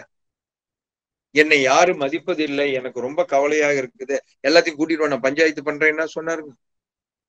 இப்ப என்ன சொல்ல நம்ம போய் வேண்டோம் கோயில்ல? என்ன அறிவு நீ என்னவாக இருக்கிறாய் நீ எப்படி இன்று நானாக இருக்கிறேன் என்று இறைவனை வழிபட்டு அங்கே தியான மண்டபத்தில் உட்கார்ந்து தியானத்தில் இருந்து சிந்தித்தால் அது தானாக உனக்கு சொல்லிவிடும். இத சிந்தனை செய் மனமே. அதனாலதான் கோயில தியான மண்டபம்னு வச்சாங்க. அப்ப இவ்வளவு பெரிய அறிவு இவ்வளவு பெரிய தத்துவங்களை இவ்வளவு பெரிய உண்மைகளை நாம் மறந்து விட்டு தடமாறி தடுமாற்றத்தில் இறைவனையே கேலி கூத்து ஆகிவிட்டோம். இப்ப மிரட்ட ஆரம்பிச்சிட்டான் நீ வந்து நாம் நூறு மா தொண்ணூத்தஞ்சு மார்க் சயின்ஸ்ல வாங்க வந்துட்டு மாவனை நான் உடனே அப்புறம் வந்து வச்சுக்கிறேன். இப்ப கோயில் எல்லாம் சாமி எல்லாம் மிரட்டுற அளவுக்கு போயிட்டான். என்ன கடவுள் என்ன கடவுள்ல என்னன்னு தெரியாம போய் சாமி கும்பிட்டா என்னங்க பண்றது? இப்ப இறைவன் வேண்டுமா? இறைவனால் படைக்கப்பட்ட பொருள்கள் வேண்டுமா? நம்ம எல்லாம் பொருள் மீதுதான் ஆசைப்படுறோம். இறைவன் வேண்டும்னு ஒரு காக்கா ஈ குஞ்சு கூட கோயில்ல போய் வேண்டது கிடையாது. அதான் மகாபாரதத்துல பகவத்கீதையில வருது போய் பாருங்க. ஒரு புறம் துரியோதன் நிக்கிறேன் ஒரு மறுபுறம் அர்ஜுனன் நிக்கிறாரு. கிருஷ்ணர் கேக்குறாரு ரெண்டு பேரும் எனக்கு மைத்துன மாப்பிள்ள முறையாவது உங்களுக்கு என்ன வேணும் கேளுங்க நான் ஆளுக்கு என்னவும் தரேன் அப்படின்னு இருக்காப்ல அர்ஜுனன் கேட்டேன் இறைவா நீ எனக்கு ஒரு ஆள் இருந்தால் போதும் மற்றவையெல்லாம் எனக்கு தேவையில்லை. துரியோதனன் கேட்டேன் எனக்கு நீ தேவையில்லை உன் படையெல்லாம் அமுச்சு விடுங்கிறான். இப்ப எவனா துரியோதனன் கேட்டது கரெக்டா அர்ஜுனன் கேட்டது கரெக்டா நம்ம கேட்டு பாருங்க. அர்ஜுனன் தான் கரெக்டுமா ஏன்? கதையை தெரிஞ்சுக்கிட்டா அதனால சொல்றோம். இப்ப நான் சொல்றேன் சத்தி மேல நம்ம எல்லாம் துரோ துரியோதனன் மாதிரி கோயில்ல போய் இறைவன் வேண்டுமா இறைவனால் படைக்கப்பட்ட பொருள் வேண்டுமானாலும் யாராவது இறைவன் ஒருத்தர் வேண்டும்னு போய் எங்கேயாவது கோயில வேண்டும் எனக்கு சரித்திரம் சொல்லுங்க. உங்களை யாராவது ஒருத்தர் சொல்லுங்க. எனக்கு நகை வேணும் நட்டு வேணும் பொண்ணு வேணும் அது வேணும் இது வேணும் குழந்தைகள் வேணும். எனக்கு மாடி பங்களா கார் வேணும் என்று நீங்கள் இறைவனால் படைக்கப்பட்ட தன்மாற்றத்தில் வந்த பொருட்களை தான் விரும்புகிறோமே தவிர இறைவா நீ எப்படி என்னுள் இருந்து ஆட்டுவித்துக் கொண்டிருக்கின்றாய்? அதை முதலில் எனக்கு புரியவை என்று ஒருவரும் இறைவனை வணங்க வணங்கவில்லை. ஞானிகள் மட்டும்தான் சொல்லுவாங்க. அதுதான் அறிவில் முழுமை வீடு பேறு மன நிறைவு அப்படின்னு சொல்லுவாங்க ஞானிகள். அப்ப நல்லா தெளிவா புரிஞ்சுக்கணும். அப்ப என்னுள் என் மனதினுள் இருப்பது இறைவன் என்றால் நான் தெய்வமா? இல்ல மனிதனா? நான் தெய்வமாக தான் இருக்கிறேன். என் ஆறாவது அறிவு மனம் பல லட்சம் பிறவிகளை தாண்டி குப்பைகள் வந்ததால் இன்று மனித உருவில் இருந்து அதை நான் அனுபவித்துக் கொண்டிருக்கின்றேன். அப்ப மனிதன் எப்படி தெய்வமாகலாம்? ஒரு சின்ன ஒரு கதை. எங்கேயாவது நாய்க்கு வெடிகுண்டுக்கு சம்பந்தம் உண்டுங்களா? இப்ப நம்ம ரோட்ல எத்தனை நாய் நம்ம பாத்துக்கிட்டு இருக்கிறோம். எந்த நாயாவது வெடிகுண்டை கண்டுபிடிச்சாதான் சோறுன்னு நினைக்குதா? எங்கேயாவது அதுக்கு இதுக்கு தொடர்பு உண்டுங்களா? சொல்லுங்க. ஆனா இன்னைக்கு நாய் வெடிகுண்டை கண்டுபிடிக்குதா இல்லையா? நல்ல டாக் ஸ்குவாடுன்னு வந்து அதை தான் நம்மளையோட ஆறாவது அறிவு கூட பெரிய விஐபி வந்தா நம்புறதுல டாக் ஸ்குவாடு தான் முன்னால வருது. அஞ்சு அறிவு தான் ஏன்னா நம்ம எல்லாம் கம்ப்யூட்டர் போயிடுவோம் அவங்களுக்கு நல்லா தெளிவா தெரிஞ்சு போச்சு. ரைட் எங்கேயாவது யானைக்கும் சைக்கிளுக்கு ஏதாவது சம்பந்தம் உண்டுங்களா? இந்த யானை சைக்கிள் ஓட்டுனா அதுக்கு சோறு கிடைக்க போதா காட்டுக்குள்ளார? சம்பந்தம் இல்லாத நாய் வெடிகுண்டை கண்டுபிடிக்கிறது. சம்பந்தமே இல்லாத யானை சைக்கிள ஓட்டுகிறது. சர்க்கஸில் என்றால் காரணம் என்ன? பழக்கம் பயிற்சி முயற்சி தொடர்ச்சி. மறந்துடக்கூடாது. சம்பந்தம் இல்லாத யானை சைக்கிளை தொடர்பு வைக்கும் பொழுது சம்பந்தம் உள்ள நான் ஏன் என்னை அறிய முடியாது? உன்னை நீ உணர்ந்து கொள். அப்போ தீபோ பவ புத்தர். உனக்கு நீ ஒளியாக இரு. அப்ப என்னுள் இருக்கும் உயிர் சக்தி என் மனம் யூட்டன் பெற்று மனம் அலைச்சூழலை குறைத்து அந்த உள்ளார போனோம்னா அந்த உயிர் சக்தி தனது விஸ்வரூப தரிசனம் நானே உன்னுள் இருக்கிறேன் தானாக தெரிந்துவிடும். அவர்கள்தான் ஞானிகள் சித்தர்கள் யோகிகள். அவர்களுக்கு என்ன குணம்னா பிறர் மீது குறை கண்டுபிடிக்க மாட்டார்கள்.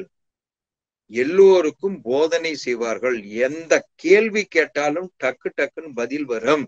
அவர்களுக்கு கேள்விகள் எழாது ஏனென்றால் இந்த அறிவு பேரறிவோடு இணைந்து விட்டது. அப்ப இறைவனுடைய தன்மை அது பேரறிவு பேராற்றல் வற்றாய் இருப்பா இருக்குது. இது சிற்றறிவு சின்ன உருவத்தில் இருக்கனால அதனுடைய தன்மையில ஓரளவு நமக்கு இறங்கி விட்டால் எல்லா இறைவனுடைய வேலையும் நாமும் செய்யலாம். அப்ப மனிதன் தெய்வமாவதற்கு வழி என்னன்னா சம்பந்தமில்லாத யானை சைக்கிள் ஓட்டும் பொழுது என் உள்ளே சம்பந்தமாக இருக்கிற இறைவனை நான் உணர வேண்டும் என்றால் என் அறிவு எதன் மூலியமாக வந்து இயக்கத்தில் இருக்கிறது என்று என் மனம் தெரிந்து கொண்டால் நாம் அனைவரும் தெய்வமே. எளிதில் மனிதன் தெய்வமாக மாறலாம். மனிதன் ஏற்கனவே தெய்வமாகத்தான் இருக்கிறான். ஆனால் தான் வந்த பாதை கல்லு முள்ளான பாதையில குப்பை தொட்டியா மாத்தினதுனால நம்மால் அதை உணர முடியவில்லை. அதை உணர முடிவதற்கு முக்கியமான வழி என்னென்னால் உள்ளே இருக்கும் பாவ குப்பைகளை பாவம் என்ற சஞ்சித கர்மம் பிரார்த்த கர்மம் ஆகாமிய கர்மங்களை உள்ளே வைத்திருக்கிறோம். அதை தூக்கி எறிய வேண்டும். தூக்கி எறிவதற்கு என்ன வழி? பிராயச்சித்தம் மேலடுக்கு பதிவு முறிவு. நல்ல தர்ம காரியங்களை தினந்தோறும் செய்து நல்ல உடற்பயிற்சி காயக்கல்பம் தியானத்தை செய்திருந்தால் என் மனம் அதற்கு சமமாக ஆகிவிடும். அதுதான் இறை வழிபாடு. இதற்கு பெயர்தான் ஆன்மீகம் என்று சொல்லி இந்த அற்புதமான வாய்ப்பு கொடுத்த நம்மளது புரோட்டோ கோயம்புத்தூர் ஐடி மாணவர்களுக்கும் அதனை சேர்ந்த அத்தனை தொழில்நுட்ப வல்லுநர்களுக்கும் எனது வணக்கத்தை கூறி இயன்ற அளவில் இந்த சிந்தனையத்துடன் நிறைவு செய்கிறேன். வாழ்க வளமுடன் வாழ்க வளமுடன்.